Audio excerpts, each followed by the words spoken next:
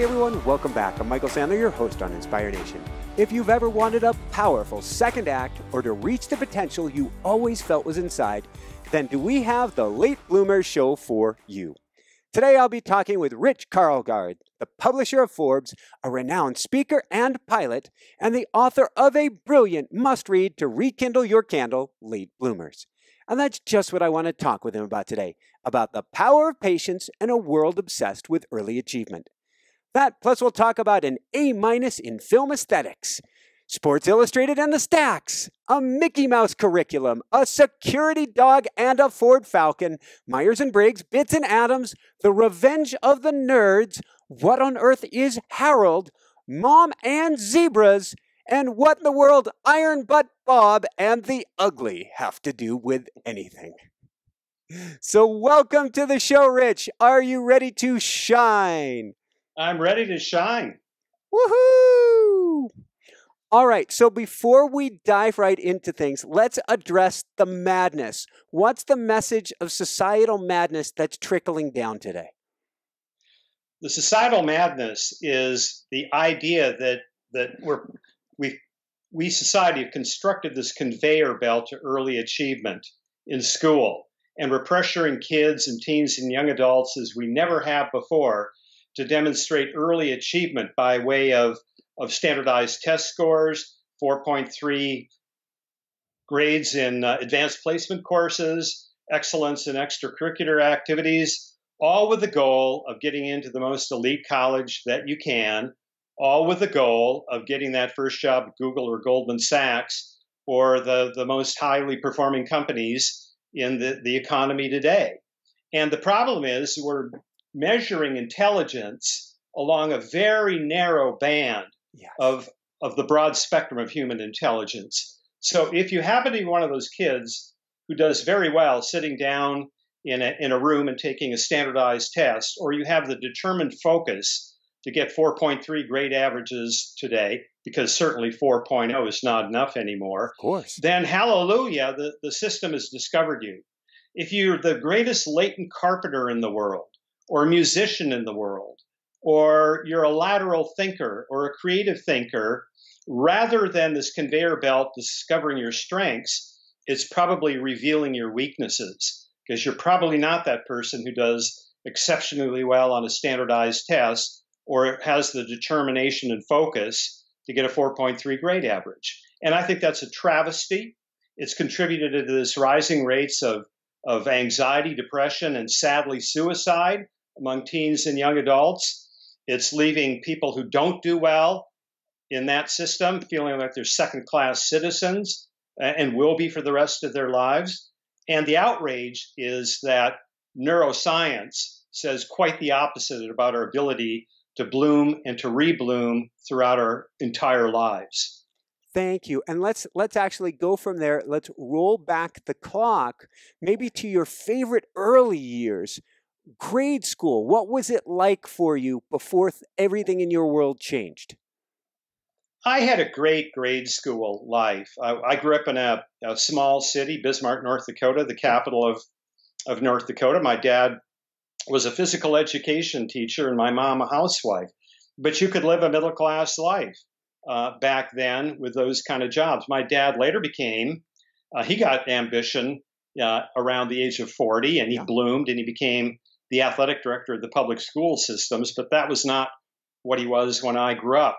But I had the usual small town kid experiences, riding my bike everywhere, riding my bike to the public swimming pool, getting um, putting a quarter down uh, to get a, a, an ice cream cone at Dairy Queen. Maybe it was even ten cents then.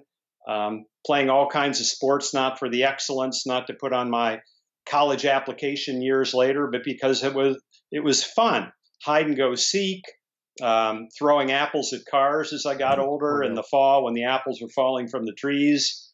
Uh, it was ideal. And then To Kill a Mockingbird came along.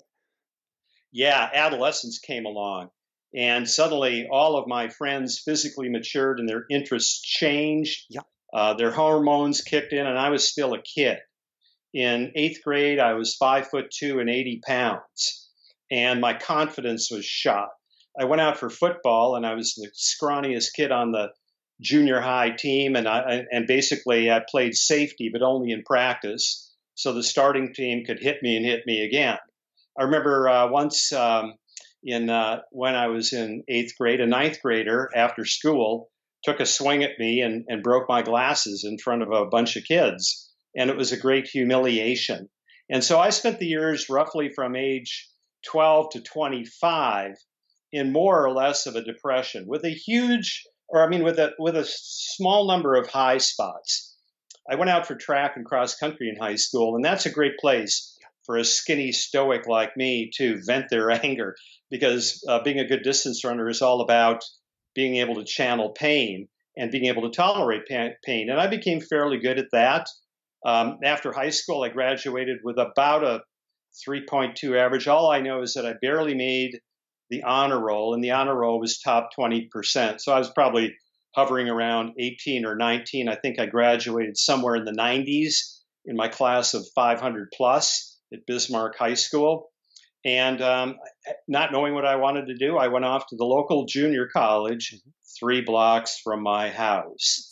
And I began to develop a little bit there. I ran track and cross country. I won a few races. And, and then I fooled the admissions director at Stanford into admitted admitting me. But I want to stop here and say that Stanford in the 70s was a far different place than today. Mm-hmm. It was an up and coming regional university. Today it's world class. It admitted about 25% of the students. They admitted an even higher percentage of junior college transfers to accommodate all the all the community college graduates in California. Again, much more regional thinking then. They had a lot of slots for people from small states like myself. And then the one other thing that probably pushed me over into getting accepted when I when I clearly wasn't Stanford worthy was that the, track and cross country coach saw that I'd run in the indoor nationals in junior college, and he misinterpreted a, a time of mine that was run in yards and thought it was in meters. So he instantly made me 10% faster than I really was. So I can imagine the discussion in the admissions department. Hey, you know, Coach Clark needs a, you know, he needs some cannon fodder on his cross country team, no scholarships. But we have this guy from North Dakota check that box, and uh, and and I slipped through the cracks that way. No briberies occurred, you know, as they do today, and and I got to Stanford, and sure enough, uh, I was a terrible student there. I signed up on registration day and I was intimidated. I didn't know what to do. And I followed big bruising people around who looked like they were football players, figuring that they got in not for their academic prowess either. Yeah. And and and at Stanford, it was nicknamed the Mickey Mouse curriculum. Um, Stanford, even back then, was very strong in engineering, and its graduate schools was very good. But the liberal arts curriculum had both challenging classes and Mickey Mouse classes, human sex, uh, sleep and dreams, and film aesthetics. So I took classes like that. The challenging courses that I actually took, like an undergraduate class in constitutional law, I utterly bombed. I mean, I quit. I was headed for a C or a D, so I, I, I bombed. So that's I took the easier, softer path through Stanford, and at the end of that, while my um, college roommates were going off to law school, uh, an advanced degree in chemical engineering at Penn. One went off to Fuller Theological Seminary in Pasadena uh, to get a joint uh, a divinity degree and a clinical psychology degree. At age 25, I was no more capable of holding a serious job th- than that of security guard, dishwasher, and temp typist. So that was me at age 25. I remember my low moment. Yeah at age 25 was a, I was a security guard. I w- was uh, it was a it was a graveyard shift at a rent a truck yard in San Jose, and I was making my rounds the perimeter of the fence. I'm dressed up like a mall cop. I've got something called a Detex clock with a key, and you would key these stations along the fence to prove that you'd made your rounds every hour. And I heard a barking, and it was an angry barking, and I swung my flashlight around, and there uh, through a chain link fence in another yard was a Rottweiler. And I looked at him and he looked at me and and he, he looked at me with anger and I looked at him with puzzlement and and then and then I figured out that at age 25 my professional colleague was a dog. And months later, Steve Jobs, also 25, would take Apple public. Mm-hmm. So that was the gulf between me, who hadn't bloomed whatsoever, and uh, and Steve Jobs, who was a magnificent early bloomer. And by the way, a re-bloomer when he came back to Apple in his 40s. When I, I uh, before I went to college, and I really went to college to learn how to race bicycles, and I went and raced in Europe for a few years, tried to wow. make it to the tour. Um, I said that before college, I worked for minimum wage at a sporting goods department store. And after my racing career was over, I got hit by a car in the French Alps a few years in. I said that after college, I was now working for near minimum wage in a sporting goods department store.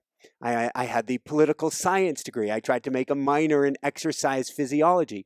My brain, my executive functions hadn't woken up yet. So, oh, go ahead, go for it. Oh, yeah. Well, first of all, congratulations that you went for it at the highest levels of cycling. And no wonder you're in Aspen. Uh, Colorado is such a such a center of all the great cycling, and yeah. and uh, you probably trained with Chris Carmichael and people like I that. I did train with Chris. yeah, yeah. I mean, fantastic. I I wanted to be in distance running what you wanted to be in cycling, but I never got that far. Anyway, yeah, back to back to my middle twenties, and, and I described this period of twelve to twenty five when I wasn't blossoming at all, except for little, you know, a few little peaks along the way. Well, it was through a temp typing job at age 26 that I ended up at a company called the Electric Power Research Institute in Palo Alto. Yeah. And they had a shower facility, and they were located in the Palo Alto Hills. And so at noon, some of the people would go out for a three or four or five mile run, and I joined them. And I was beginning to clean up my act. I had stopped smoking pot. Um, I wasn't doing things as I did when I was a security guard, and and uh, for a while I was a security guard at a winery, and and all I can say is there was a curious uh, missing of inventory oh that coincided with the time that I did my spots. So I was beginning to clean up my act physically a bit, and I started running with these fellows, and one of them said, "Why are you in the temp typing pool?" And I almost broke down, and I said, "I really don't know why. I'm I'm confused. I feel ashamed, ashamed that I'm uh, I'm still stuck because I know I'm capable of more. I don't know what that would be. And they they offered me a job to be a um, a uh, an editor and, and writer, uh, editing technical journals mm-hmm. and papers. And I was really good at it. My brain woke up. I was ready to accept that job. I didn't mention that along the way when I was the security guard, a lot of my posts were ones where I came in at 5 p.m., relieved the receptionist, and worked till midnight. And that gave me a lot of time to read. And so I was reading then, and I was reading uh, sports magazines, I was reading popular novels, but I was also reading serious novels like Saul Bellow's Humboldt's Gift. Let me back you up for that, one second. I yeah, want to back you up yeah, for one second because yeah, it's great particularly when we're talking about late bloomers, if we can go back, the cover of your book, which I think is brilliant, which has all these all these uh, points, dots, period marks, whatever we want to call them on there, dot, dot, ellipses. dot. Ellipses. ellipses. It has all these ellipses on there. And what occurs to me is all of these ellipses, all of these points in our lives that we think are wasted, that we think we we wasted our time doing it and that they're for naught are anything but because you were in the stacks at Stanford. You've got Iron Butt Bob, your roommate, who goes on to, to law school and beyond, who can sit in the stacks for hours. You're busy there in, in, engrossed in Sports Illustrated, which we think at the time is just wasting your life, but turns out to be the thread that now carries forth. Now you're excited, you're reading when you're doing supposed to be doing security work, and here comes along your reading and writing jobs, and we find out that everything from before that seemed like it was a waste was meaningful. Well, thank you for bringing that up. Yes, I had a roommate, Bob, who was focused, an early achiever, collegiate volleyball player. He could park his butt down at a study carrel and for four hours drinking Pepsi. I don't even know how he held a whole quart of Pepsi without getting up and having to take a pee, but he could. And then he'd come back and write a 40 page double space paper, and then uh, maybe the next day type it up. That was Bob, and he went on to be a great lawyer. And I thought I thought the secret of being Bob mm-hmm. was to buy the same brand of backpack, yellow highlighters, and so on. And so I'd go, I'd walk with Bob to to the Stanford undergraduate library, nicknamed Ugly. Bob would sit down at his study carrel. I'd sit down at his study carrel. He'd take out his backpack. I'd take out my backpack, etc. Except that after about a half hour, I was fidgeting and and uh, and I would get up, and I seemed to be drawn to the the stacks of hardbound magazines. Mm-hmm. I particularly loved Sports Illustrated. I read every issue of Sports Illustrated from its inception year in 1954 through the present, and I began to notice things. And this is what you talk about. You're learning things even when you don't you don't think you're learning things. I began to notice great writing, great caption writing, great headline writing, mm-hmm. um, great photography, great illustration. I mean, they had the best caricaturists in the world. Nobody could show the, the nerves of a golfer trying to make a six foot downhill curvy putt to win a major than a caricaturist could. And I was absorbing these things and, uh, and, and later would come out with a spectacular good use. So now you fast forward uh, 25. You know, many of my security guard posts. I'm reading.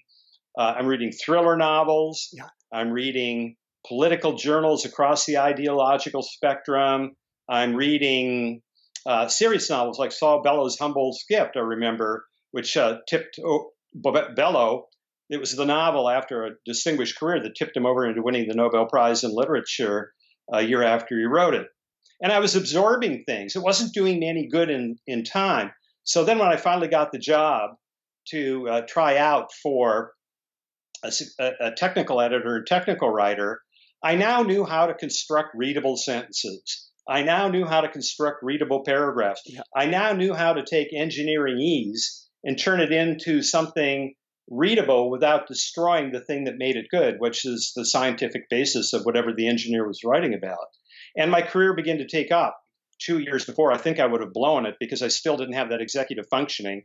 I still would have done something stupidly self destructive. I didn't include in the book, I had about a, a one month stint at another research firm a couple years before, and we had a client meeting, and I got to attend my first client meeting with a paying client to this research firm.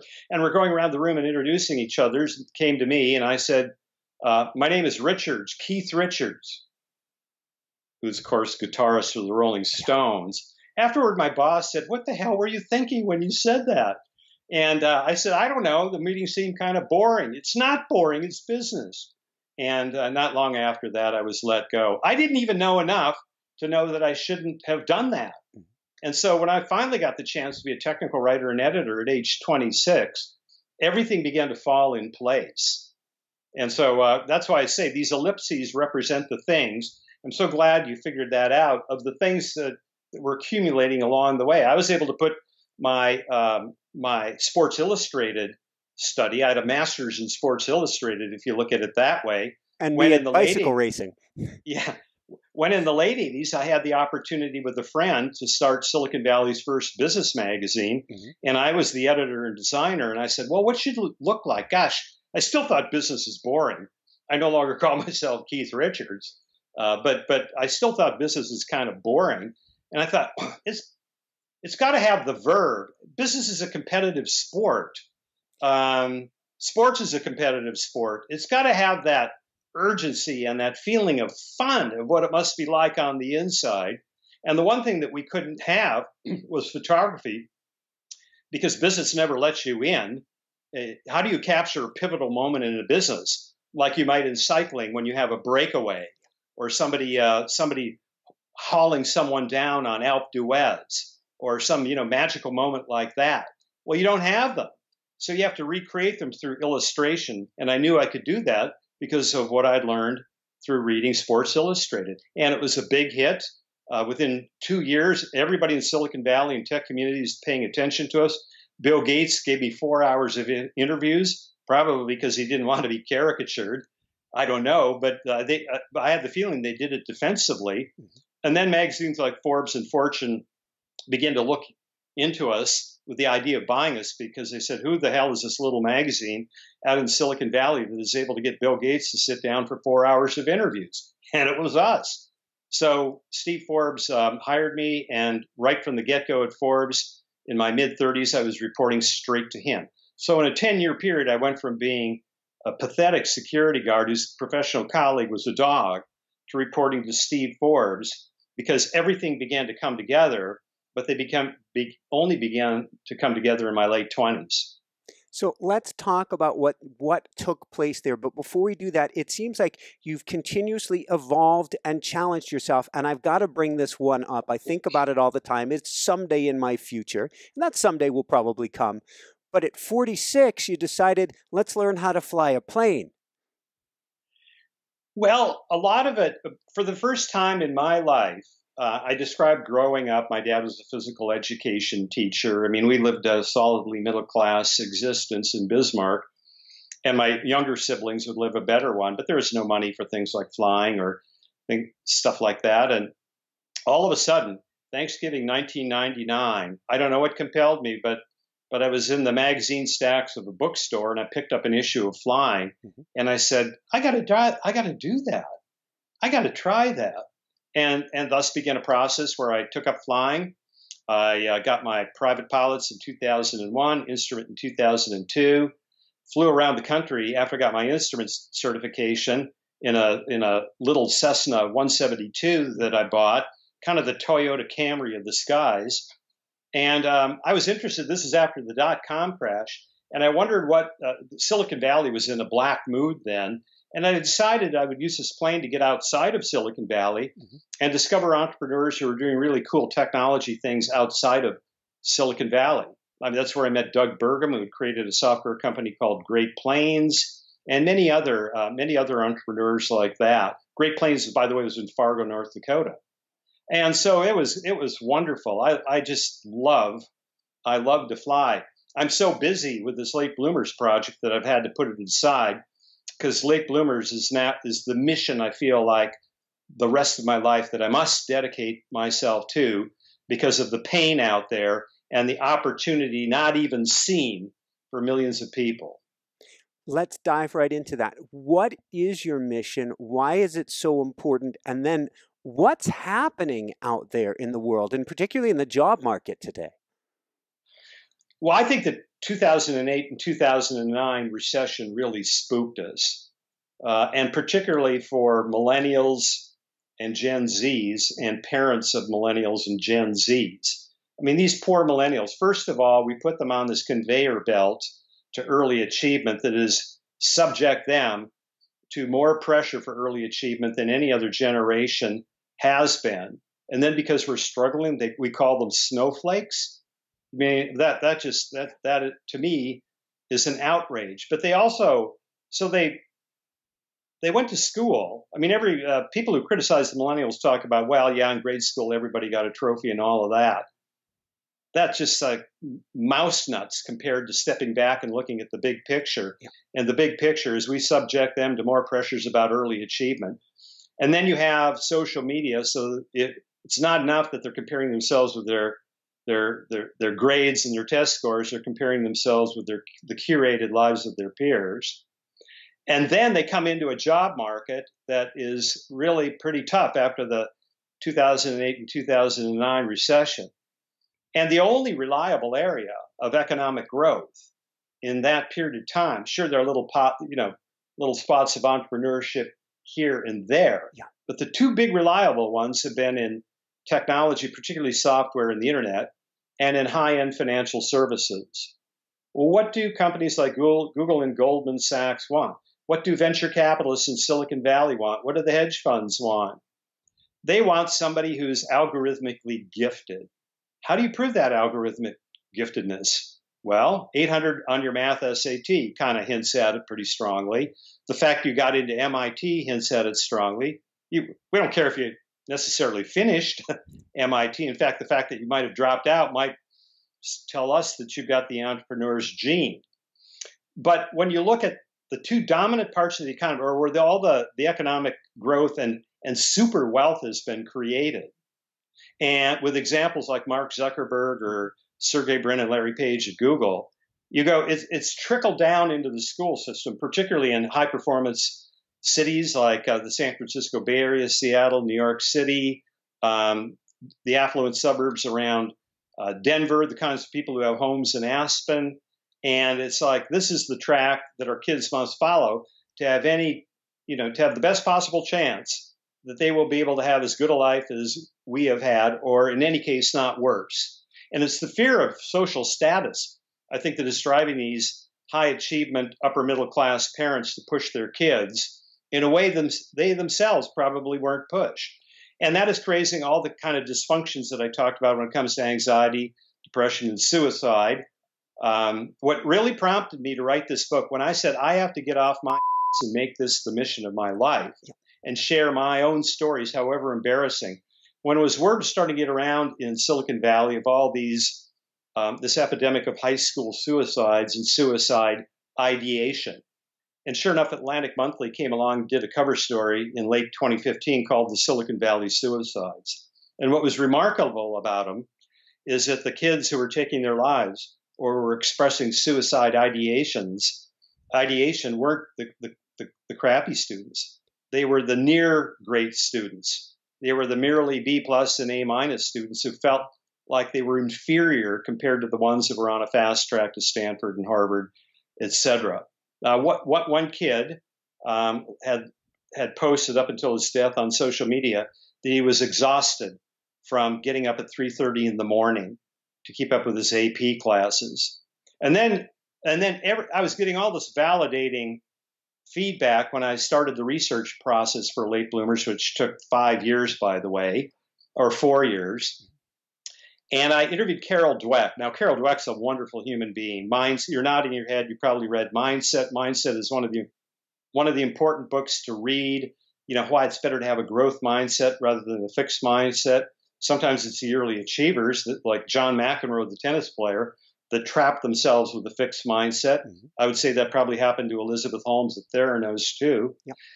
But she said, I interviewed Carol and I said, um, Tell me what's changed since you wrote Mindset in 2006.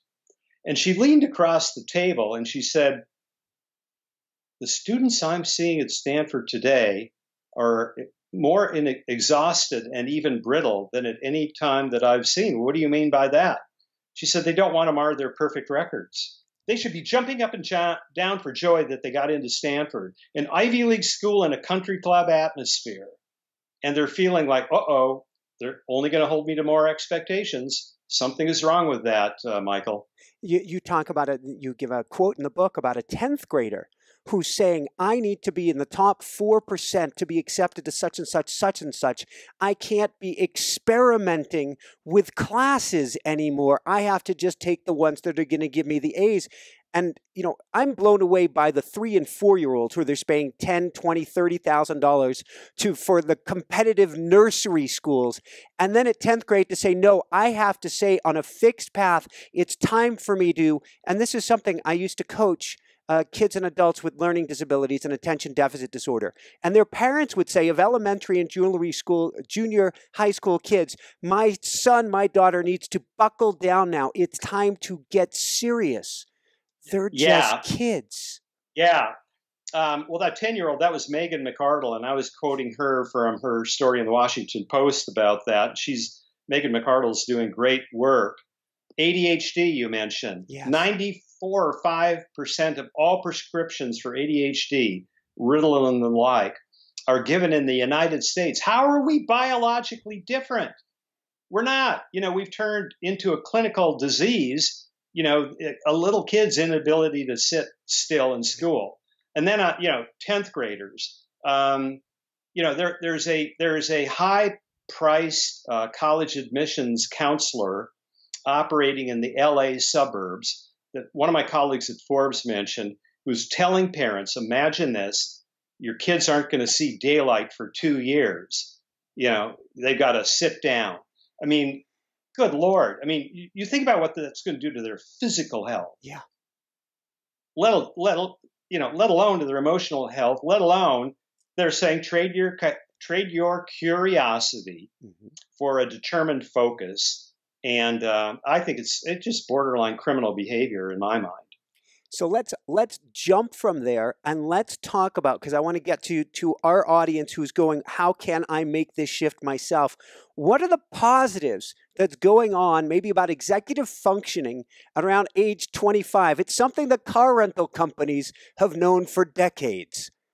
Yeah, well, the prefrontal cortex, uh, you know, which uh, ex- sits in one side of our brain, high over one of our uh, one of our eyes is really the seat of what psychologists call executive functioning. Until you have full maturity of the prefrontal cortex, it's hard to be mature. Now, uh, and comport yourself like an adult. Now, when I say age 25, it's a bell curve. So some people will have full prefrontal cortex maturity earlier, some, like me, in their late 20s, hmm. some it may be even in their 30s. And then the most amazing thing happens after that according to a maverick neuropsychologist out of NYU named Elkhonon Goldberg, only after that happens do we get this flowering of neural networks that, that allow the two sides of our brain, the right and left hemispheres, to communicate, the intuitive side, the logical side, to shorthand those. So, all the recent research uh, from Jeffrey Arnett's uh, he's a psychologist who posited that 18 to 25, or make it 28 if you want in your case, that they form a period of life that is not distinctly adolescence nor fully adult. And now we know why from a neurological sense. A 2015 study uh, by Harvard, MIT, and Massachusetts General Hospital, led by a woman named Laura Germine, asked the question at what age do we cognitively peak? Because of all this fear in a technology driven world that it tilts things toward those young algorithmic skills. Well, it depends on what cognitive ability you're talking about. Sure enough, rapid processing speed, working memory, they peak in our teens and 20s. But then a whole set of um, attributes, uh, neurological skills, come into come to blossom in our 30s, 40s, and 50s and mm-hmm. support this idea that we'll be uh, we're better executives, better managers, better deep pattern thinkers, um, better communicators. We have more compassion and empathy. And then in our 50s, 60s, and 70s, our brain continues to evolve toward that, that thing we call wisdom, which Dr. Goldberg at NYU believes is this continuum. Wisdom is essentially the two sides of the brain working on something where there's a, a little bit of a debate going between uh, uh, one side and the other, and it pops out as an intuition. And in the case of Dr. Goldberg, 72, he, he feels himself smarter at age 72 because he's able to short circuit the logical way of reaching a conclusion on something. And he finds that his intuitions at age 72 have never been better. Now, that makes complete and total sense to me. I'm in my upper 40s. I read a book a day now for this job. And, and I don't say that to tout that or anything, uh, but I was the ADD kid. In fact, I ended up writing a book for college students with ADHD many years later who would bounce around my seat and couldn't put two ideas together. I was sharp, but I was so wanted to be out, wanted to be playing, wanted to be running, running to be cycling. And now the brain has lit up. And you talk about this. A hitch you were a normal, healthy kid and young adult. Woohoo! you, and you've blossomed magnificently. Thank you. Well, you talk about this. One of the keys that it takes, and then I want to get into the six strengths of the late bloomers, is we have to throw out the conveyor belt. We have to throw out the concept that it's only for them. And in fact, I've had on here Dr. Michael Merzenich several times, your neck of the woods, the uh, father of brain plasticity, who talks about that you can get smarter at any age. I go, if is it really true that only the kids get smarter? And he goes, nothing could be further from the truth. But we need to throw out the old paradigm and use it, don't we? Yeah, I when I set out to write Late Bloomers, um, I was both you know I, I, both thought it would be a way of making use of my early humbling and and even uh, self-shamed start in life. I could make some use of it and help somebody, and particularly in this time when we had kids that were getting mentally ill because of the pressures. Well, I assumed that being a late bloomer was was um, you were falling behind on the conveyor belt is that you'd call a timeout, you would assess yourself, you would you know, try to maneuver yourself into better spaces perhaps, and then get back on the conveyor belt. And that wasn't what I found at all. To be a late bloomer, you have to get off the layer conveyor belt. You have to declare your Declaration of Independence from the conveyor belt. And you have to support yourself with friends and peers and family and whoever it is that supports your doing that. It's a lot easier if you have that. And then you have to begin a journey of discovery. And that's what late blooming is all about. Not not just an aimless wander. It's a it's a wandering with intent. It's a it's a it's finding the pathways out there. And then uh, I define late blooming because I was kind of surprised mm-hmm. that uh, there is no clinical definition of a late bloomer or late blooming.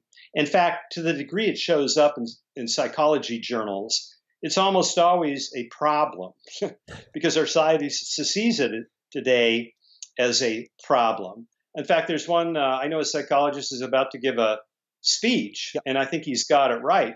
He said, uh, slacker or late bloomer. And he's trying to move people more toward this late blooming idea. Your kids aren't slackers, they could possibly late, be late bloomers, or simply paralyzed and depressed because they don't know they can be late bloomers but yeah, can we get smarter at any age? Of course we can. Uh, I, it, may, it might be a little bit different kind of intelligence. It might not be that narrow band of algorithmically focused intelligence, which the young seem to do better.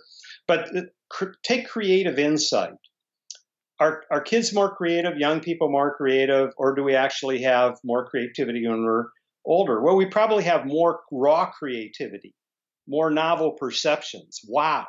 I've never seen that before when we're young because we don't have the repository of stored memories. But according to Dr. Goldberg of NYU, and, and, and this shows up in many of the people I wrote about, they continue to have really brilliant creative insights in the 30s, 40s, 50s, and beyond. Mm-hmm.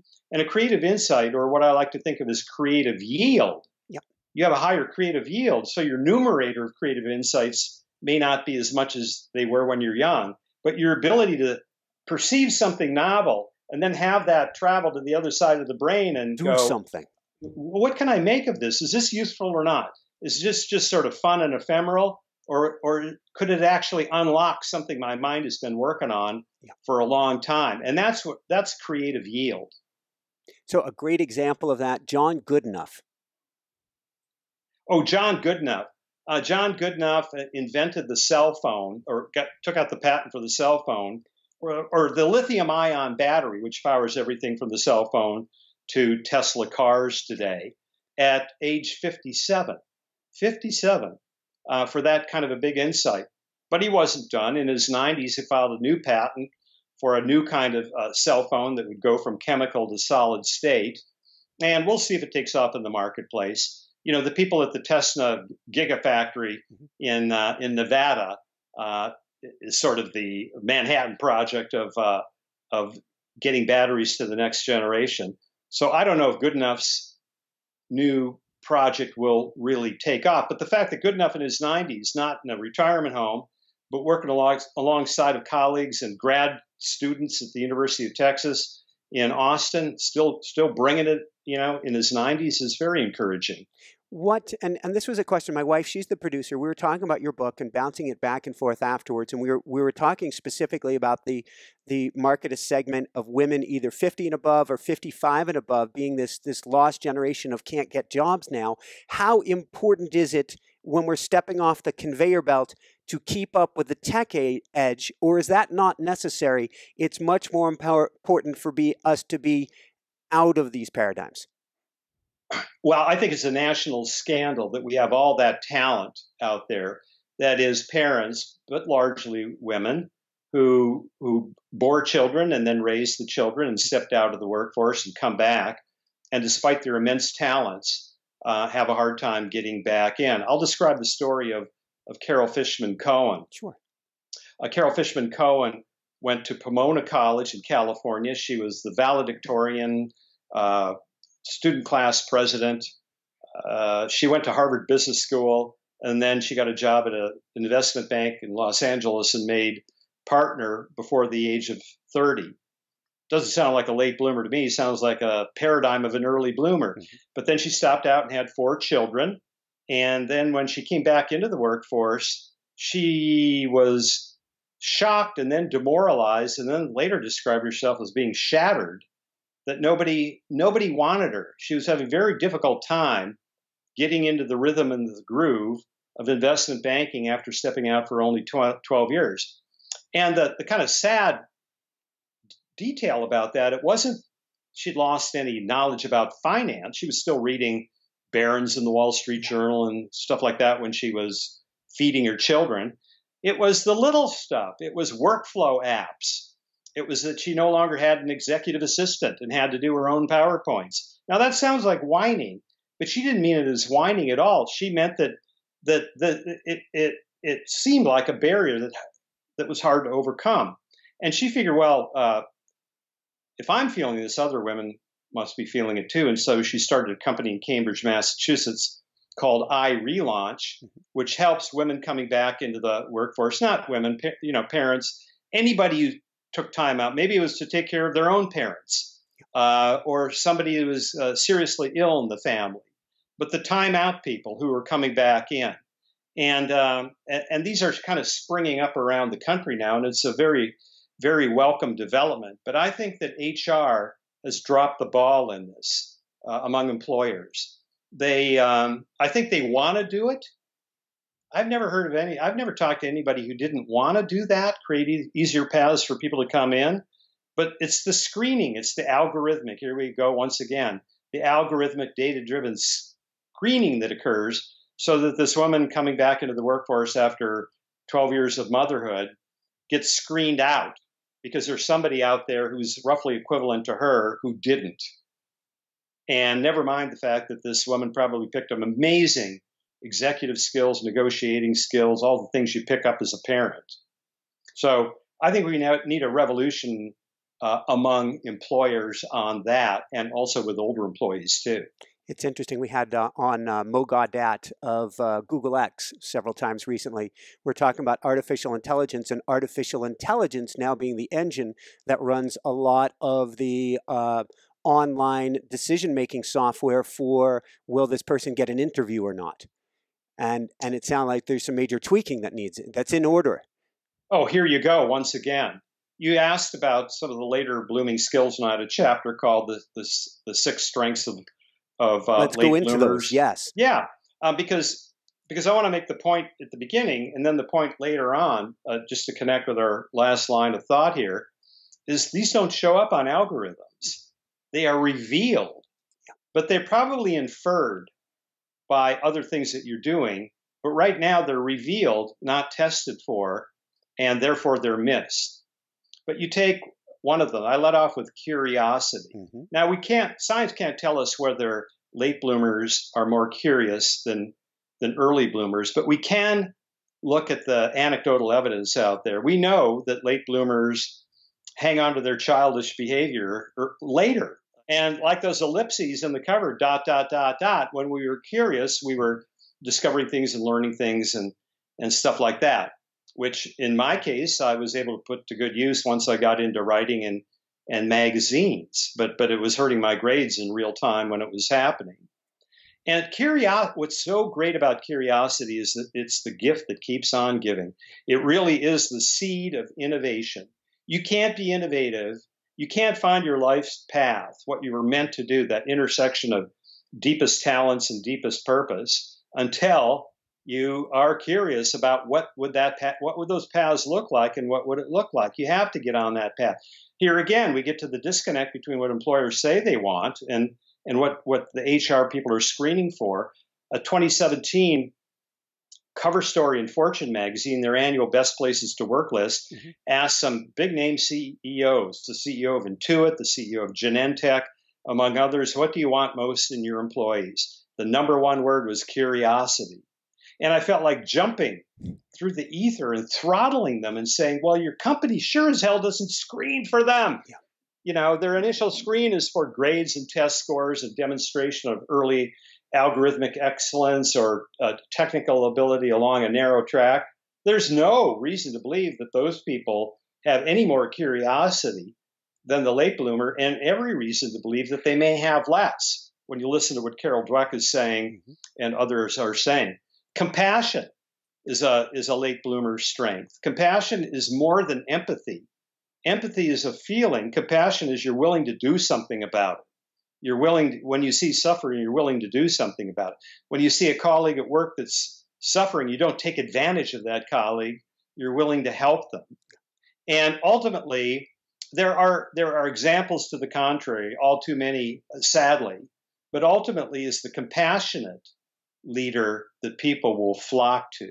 And if you're in any kind of industry where you're battling for talent, you want to be the company where people flock to, not drive them away. I know there are examples, let's just say cough cough in politics and, and business today, where it doesn't where it seems like compassion is for suckers, but it isn't. Uh, resilience, that ability to get off, uh, you know, get knocked down and get back up. I would say that late bloomers have more experience at doing that, so they're less brittle. I go back to Carol Dweck. I, the kids I'm seeing today, they're exhausted and brittle. Well, if you're brittle and you take a punch, you shatter. If you're resilient and take a punch, you go, well, that wasn't any fun. You know, I'll get back up and ask myself what I learned uh, learned about that. Equanimity. Equanimity is the ability to stay calm under pressure. Captain Sullenberger landed uh, the U.S. airplane in the Hudson. Uh, perfect. Everybody got out. He was 58 when he did it. Uh, more recently, about a year ago, uh, Tammie Jo Shults, the Southwest Airlines pilot who was flying toward Philadelphia at 31,000 feet, an engine blew up. Shrapnel went through a window, killed a passenger, blood screaming and vomiting everywhere. And she landed the plane very safely, calmly, listened to the air traffic control recording, and she's as calm and fact based as could be. She was 56. And then lastly, uh, this quality that we call wisdom. Now, wisdom, wisdom sort of leads into this category, if I might, about what do you do with older employees that uh, inside of your organization that are perfectly willing to work, but maybe not 50 or 60 hours, weeks anymore, jump on a plane at moment's notice. What do we do with them? And I think we need to, this gets to this wisdom thing. They are wise. Mm-hmm. They've accumulated a lot of practical wisdom about how things work around the organization and how to get things done in the outside world. But if you have an up and out career track, that is, you, you keep promoting people and giving them pay raises till some point, depending on the industry, 40s, 50s, 60s, the finance people say, my God, we're paying that person a lot of money and we've got to make room for the up and coming talent below them. Otherwise, we'll lose that up and coming talent. What are we to do with these people? And up and out says, okay, you've, you've had your run you're out. Sorry, you made a great contribution, but but we're retiring you. Mandatory retirement age around here is 55 or 60, and that's the way we do it around here. And what a loss! It's again like these women, you know, who went out to be mothers. What a loss of of talent. What if we could construct a, a instead of up and out a career arc? So we could have older employees that everybody realizes, everybody knows, including the employee themselves, is peaked in terms of their willingness to work long hours, mm-hmm. uh, peaked in terms of their paycheck. Let's have a negotiation. Let's negotiate what the coach and mentor period of your career would look like. Maybe awesome. you give up half your salary. Maybe you uh, you're going to work 30 hours a week. You will coach the Gen Xers, the Millennials, and the Gen Zs to be better than they are. That's your new task. You give up the EVP title, and we're going to call you senior coach, uh, counselor, all of those things. I bet there are a lot of older employees that say, I'd love to do that, and that perfectly suits where I am in my career in my mid 60s and beyond. My mother in law just retired. She's in the other room at the moment visiting us for a couple weeks. She just retired at, at 71. She was doing a job that, that no three people could do but they didn't move her into a training role. They just said, Can you stay longer and do this more? And at that point, she's saying the pressure is just not worth it. They hadn't fully realized or utilized, as you're saying, the skills that she had so that she could train a new gen. Yeah, absolutely. Make it very clear. Have an honest, open negotiation. That that job at 30 hours a week, uh, depending on where you came from at your peak, it might be two thirds of your salary. It might be half your salary. If you were in the C-suite, it might be a quarter of your salary. Um, but there should be some open negotiation. When I talk to lawyers and HR people, they live in fear of a, of a good negotiation agreed to gone bad later when the employee that negotiated it uh, on the downside of the slope, a, a coaching position, then comes back and files an age discrimination lawsuit against them. And that's sad. But I would say it's not insurmountable. We got to work our way around that because simply going up and out, leaving all that talent out there is, is a bigger mistake. Thank you. Let's talk about two more key topics and we'll begin to wrap yeah. this down. I'm, I'm, I'm loving this, Rich. I'm absolutely loving it. First off, you're a great host, Michael. You you put people at ease, and yeah. Thank you, well, Rich. You, I feel you you have a piece about you, obviously, and you know how to bring that piece to you, and it comes through, and I I feel joy and at peace when I'm talking with you.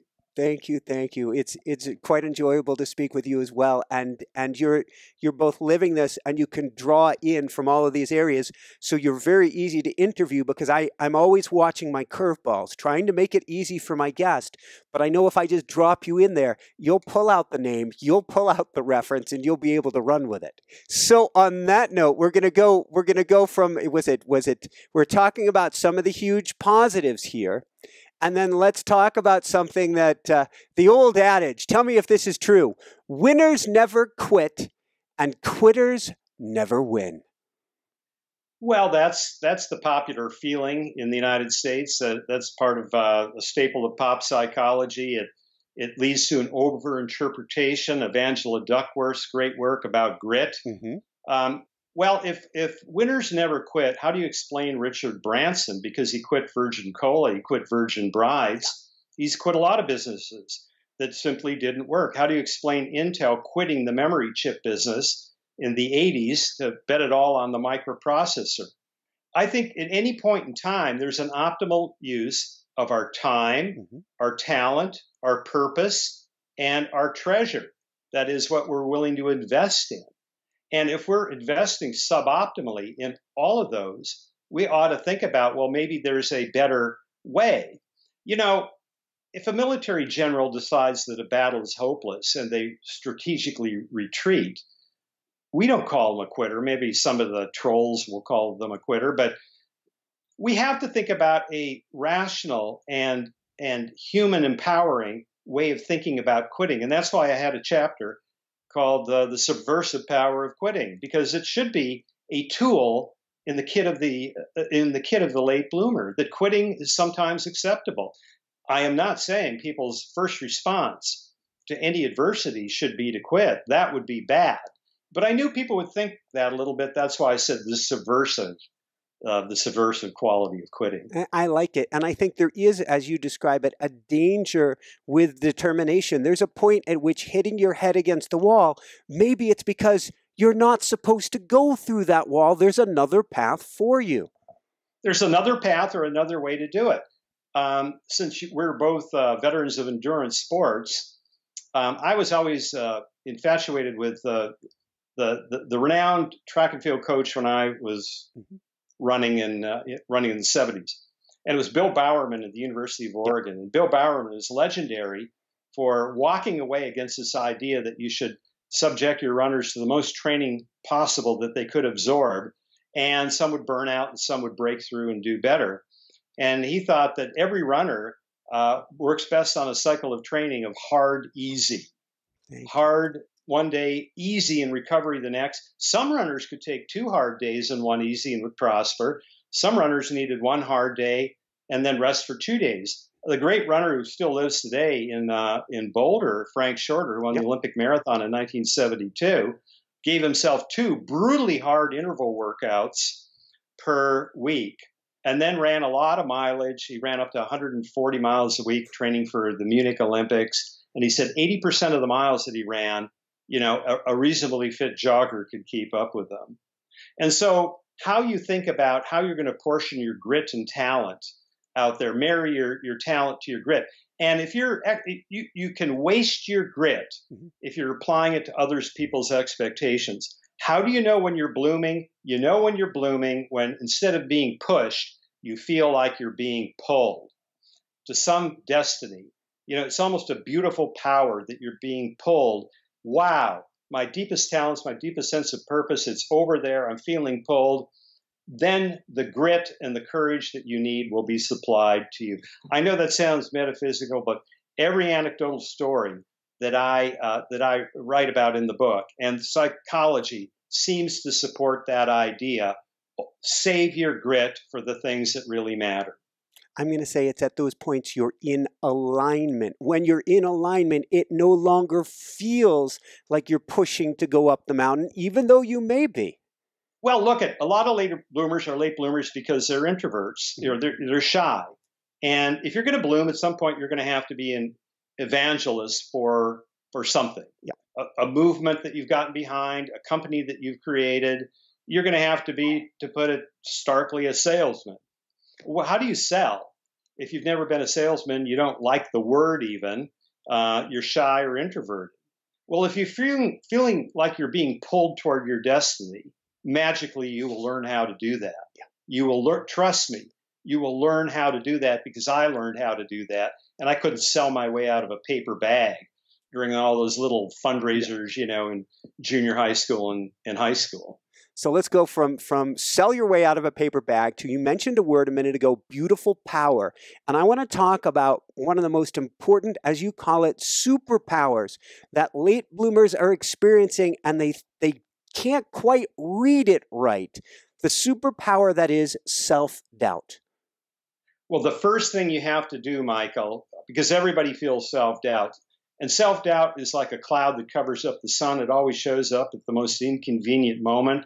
The first thing you have to do is wall it off from your self worth. And that's why it's so important to have that sense of supreme destiny. It can be a belief in God, it can be a belief in um, a higher power. It can be a belief in the force. Yeah.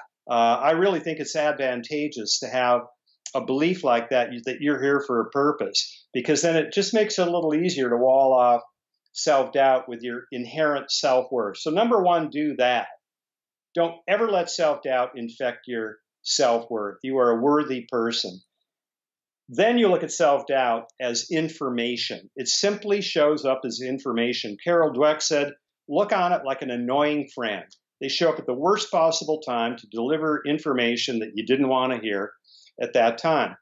She suggests listening to the doubt like you would the annoying friend, thanking the annoying friend, and say, Now go sit down. You told me what you needed to tell me. And then you look at self doubt clinically. You step away from it. Again, it's not your self worth. You step away from it and you look at it. Well, what is this self doubt trying to tell me right now? Uh, maybe it's telling me I haven't prepared. Maybe it's telling me I need to I need to partner with somebody who's got complementary skills with me, and then we would be a real powerful force together. It could be many any number of things. Maybe I'm not getting enough sleep or meditation. Listen to it. What is it's telling you something valuable, and then learn from that something valuable. And then the last thing about self doubt, and it's a whole category, but uh, learn self efficacy. And self efficacy is Start with the thing you know you can do, even if you're feeling self doubt, and build the little wins out from there. And that's how you proceed and get bigger than yourself, even with self doubt. Uh, Meryl Streep, uh, the actress, says she feels self doubt all the time, all the time. Maya Angelou, uh, Angelou says that with all the books she's written, she's always has this feeling of doubt that somebody someday is going to discover, as she put it, somebody that I'm playing a game on people. Imposter it shows syndrome. up. It shows up with successful people. Forget about it. Take it as useful information. Don't ever, ever let it infect your self worth.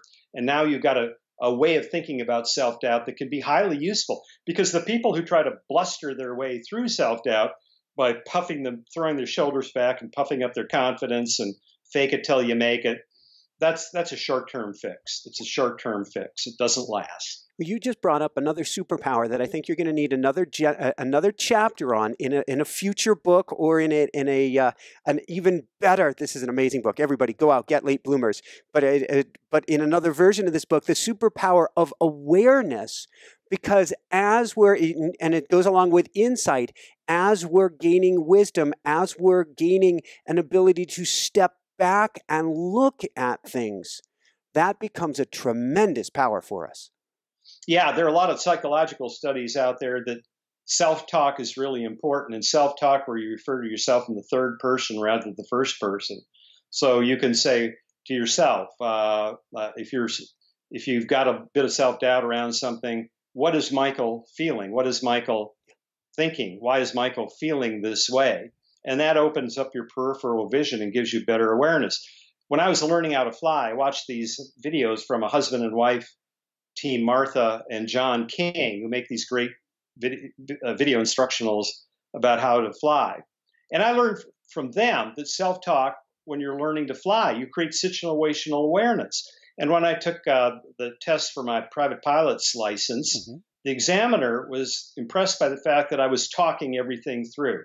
I'm pulling out the the pull, pulling back on the power. I'm lowering the first degree of flaps. I'm beginning to bank into a 20 degree turn, talking through everything. Situational awareness is everything, uh, particularly if you feel a little bit of nervousness or panic about something. You're feeling nervous about giving a speech. Reframe it as I'm feeling excited about giving this speech. Situational awareness. This speech, a lot of adrenaline is coursing through me here. I feel blessed that that is happening, and I'm going to learn something from this speech, even if it's not the perfect speech, because this isn't the last speech I'm going to give. Beautiful. Can you tell us what would you say are the top three tips you want to give people for becoming a late bloomer?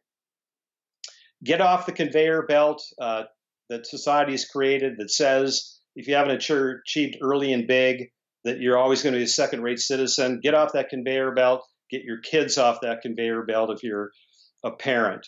I would say going back to self doubt, accept self doubt as naturally occurring, as useful information, yeah. but put a wall that shall never be breached between your inherent self worth as a human being and the momentary bouts of self doubt that you may have. Use that self doubt as a tool.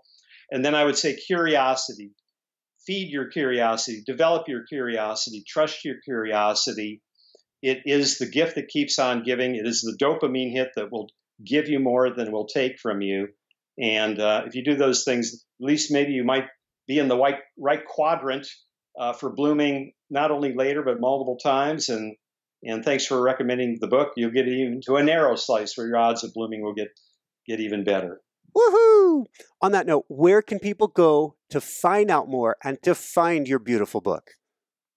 Well, you can uh, you can go to Amazon and get it. I mm-hmm. encourage people to go to Goodreads because yep. the the reviews on Goodreads are by people who've really read the book and are not bringing another agenda. They tend to be higher quality. So check it out on Goodreads. Um, I'm a big believer in local bookstores. So if you have a favorite local bookstore, uh, go there. But of course, Amazon, Barnes and Noble, and uh, the usual sources. And do you have a website you want to send people to? Well, I have two. I have uh, I have my uh, richkarlgaard.com, mm-hmm. and then I have a specific site for the book, Late Bloomer, single, not plural, latebloomer.com. And so that is Rich Karlgaard, if I'm spelling this right, R I C H K A R L G A A R D.com and latebloomer.com. Correct. Awesome. Couple last questions. First off, what can you tell us about Geraldine Weiss, also known as G. Weiss? Geraldine Weiss, uh, if you were to have a Hall of Fame of the most successful women investors in history, it would be Geraldine Weiss, who's 92 or 3 years old right now. Uh, she went by G. Weiss when she was just starting out. First of all, she didn't even, you know, she didn't have the money or the confidence to start her investing newsletter until she was in her 40s, but she did. And uh, for the longest time, she signed it G. Weiss uh, because there there was a, a, bias against women investors. There was a bias. Uh, there was an anti-Semitism that that uh, made it hard for her to get a job at an investment bank too.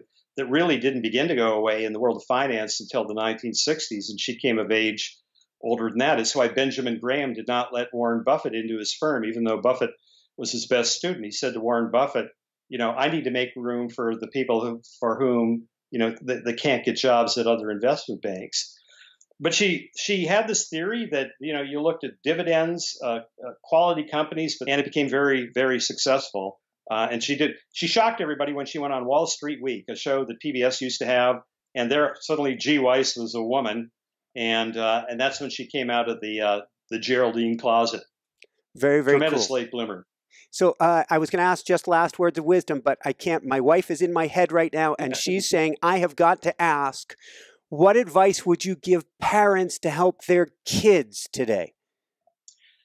Love your kids, listen to them, be there for them, really listen between the lines to discover what they might be passionate about, what they might be anxious about. Look, if you have a kid who's an early achiever, that I'm all for you. Blessings. If they're not an early achiever, plan B is don't double down on the conveyor belt. Don't double down on the discipline and the tutors. Think about getting off the early bloomer track. My book will supply a lot of information about why you need to do that. And there are multiple paths to blooming. Early achievers can bloom, middle achievers, late bloomers, and we can bloom many times. I think that's what we're all looking for, is not once, but many times. Woohoo! This has been phenomenal, Rich. Any last? Thank you, words? Michael. Man, this has been great. We could keep going and going and going. I am.